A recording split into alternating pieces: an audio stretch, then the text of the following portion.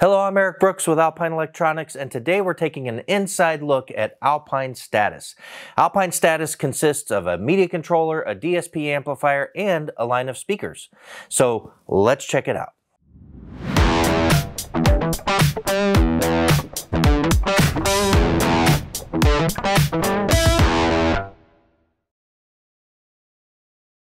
So when we talk about Alpine status, I want to make sure that there's no confusion between Alpine F number one status and Alpine status.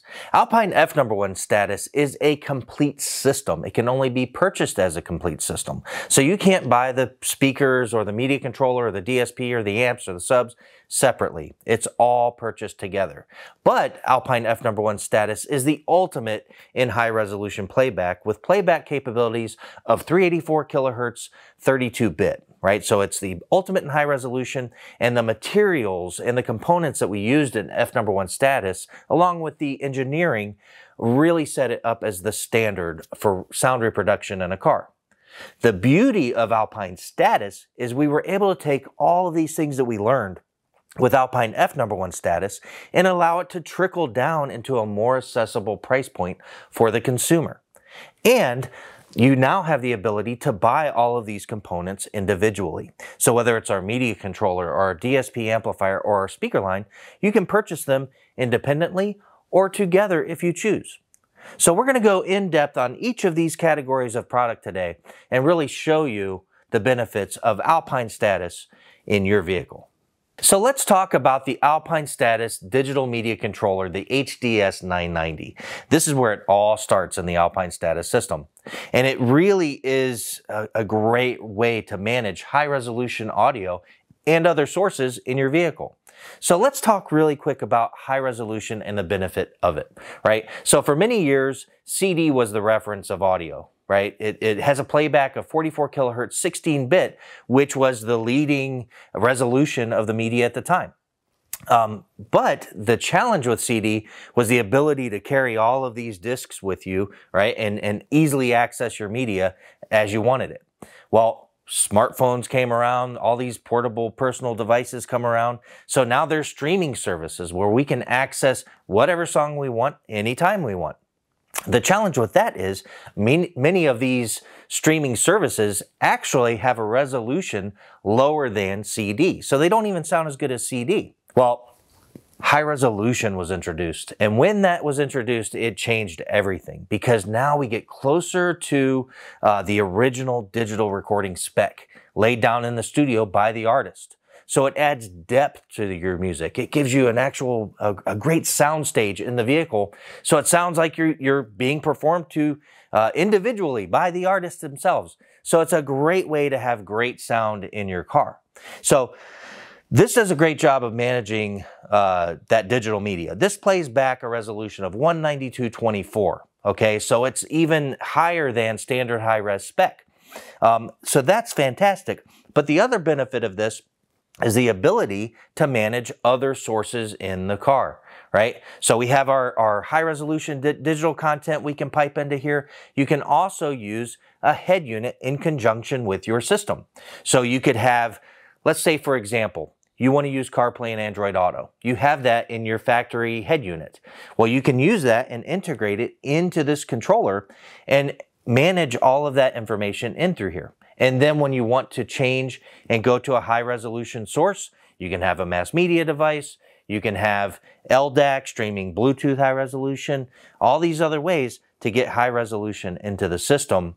So it's basically like having two systems in one, right? So you can do that with an OEM system. The way I would suggest is adding in an Alpine head unit with CarPlay and Android Auto you know, maybe an ILX F509, something like that. A great way to manage your media. That unit's high resolution too. So you'd have that unit piped into this unit, the HDS 990. So you have your everyday functionality that you need with CarPlay and Android Auto. And then you can have, for when you really want to, to do your subtle listening and your competitive listening to, to media, you can have a mass storage device or some other high resolution content that you play in through an additional source, right? So that's how I would do it. So you have uh, multiple sources of input. You have a high level input into this, you have an auxiliary level input into this, so high power in, you have RCA input into this, and you have USB inputs into this. So there are multiple ways to get information into this unit. And then let's talk about the outputs. There's multiple ways to get the music out. We can go uh, high quality RCA output from here to a DSP amplifier or to an amplifier. We can go uh, optical out of this into a processor.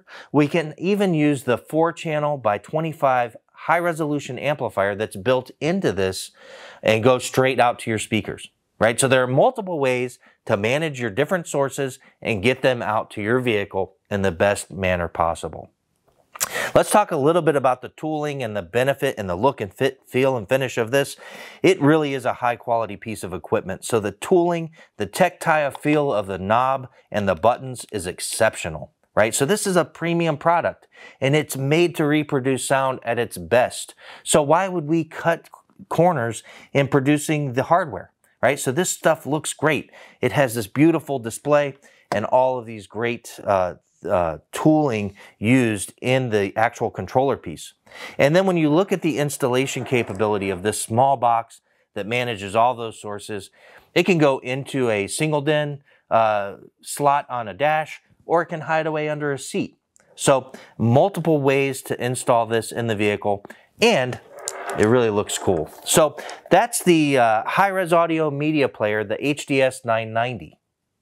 Now let's talk about this Alpine Status DSP amplifier called the HDP D90.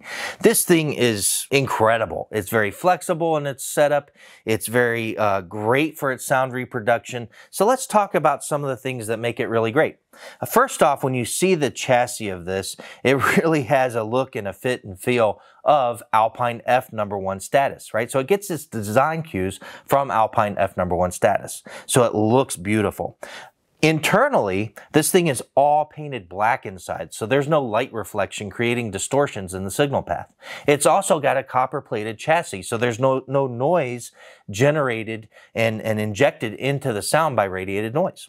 It has a signal to noise ratio of over 110 dB signal to noise. That means this machine is very, very quiet, right? So you're hearing more of the music and less of the machine creating it. Uh, some other great things about this is the bandwidth, the, the, the width of music produced by this. So it creates a bandwidth of 10 hertz out to 110 kilohertz. What does that mean? 10 hertz is below what the human ear can hear, right? And 110 kilohertz is far above what the human ear can hear. But those, those, that information that's produced can still affect us emotionally and it does add dynamic to the sound that you're hearing. So it's very important that wide bandwidth width is huge. It also has high resolution capability, right? So it's 192 32-bit internal sampling rate and it outputs at a 192 24-bit sampling rate. So it has high resolution audio capability that's really best utilized using our uh, Alpine Status high resolution audio media controller called the HDS 990. So using this together with that piece really gives us the benefit of accessing our high resolution content and playing it back in the vehicle. So let's talk a little bit about the inputs and outputs of this because it's very flexible. So it has 10 channels of RCA output. It has 12 channels of high level input. So if we have an OEM system that we're trying to tie into with this, we can do that. If we have a tweeter channel, a mid-range channel, and a mid-bass channel, and a subwoofer channel, we can take all of those inputs and tie them together and matrix sum them within the, the unit itself to create a full signal, a full bandwidth signal, right? So we can do that all in the software in tuning of this processor. It has 32 bands of parametric equalization within it. So you can really adjust and fine tune the sound for your specific vehicle using the software in this system. It also has uh, a, a, digital coax input, an optical input. It has a USB input. It has uh, the capability of streaming Bluetooth directly to this. So all of these inputs are, are a great thing for us, right? Again, I said we have 10 channels of RCA output, so you can go out of this into additional amplifiers, but it also has a built-in uh, high resolution amplifier, which is 12 channels of output. It has eight channels of 50 watts and four channels of 80 watts. So it has full capability of running a speaker system in active application right in the amplifier in this DSP. So a lot of benefits to this piece. It's best utilized when using our Alpine high resolution audio media player, the HDS 990, but it can also work standalone. So that's our Alpine Status DSP amplifier, and it's a great addition to your system in your vehicle.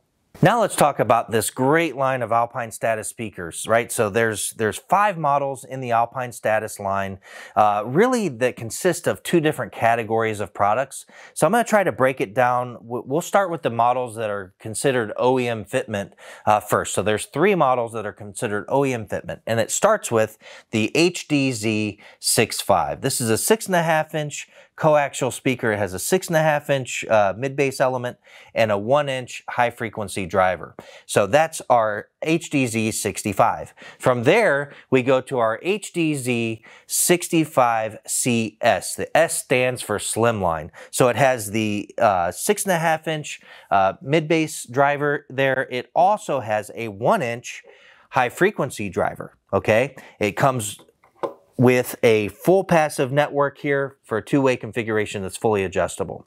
Uh, from there, we go to our uh, HDZ 653S. Again, S is for slimline. And that speaker set consists of a six and a half inch mid bass, three inch mid range, and one inch high frequency driver, along with a three way crossover network that's fully adjustable.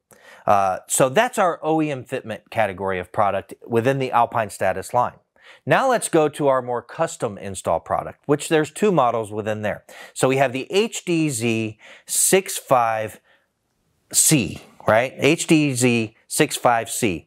And, and that has a six and a half inch mid bass and a two inch two inch high frequency driver. This thing is absolutely killer. We'll get into some details in a minute. From there, we go to our three way configuration set. So that is the HDZ 653 and it has the six and a half inch mid bass driver that you see here. It has the three inch mid range that you see here, and it has that two inch high frequency driver that you see here, as well as a three way passive crossover network. So each of the uh, component sets have that passive network crossover that's fully adjustable. And then we have our coax available too. So that's our line of products. Now, when you look at these, let's talk a little bit about the features and, and why they look so awesome and why they really resemble our F number one status speaker uh, line. And, and really it's because they derive so much of the materials and the look and feel from Alpine F number one status. Okay, so first off, let's look at this really cool and unique surround. This is called a double gathered surround. And the benefit of that is it keeps great linear control over the motor structure as it moves in and out. So it has very low distortion and great control.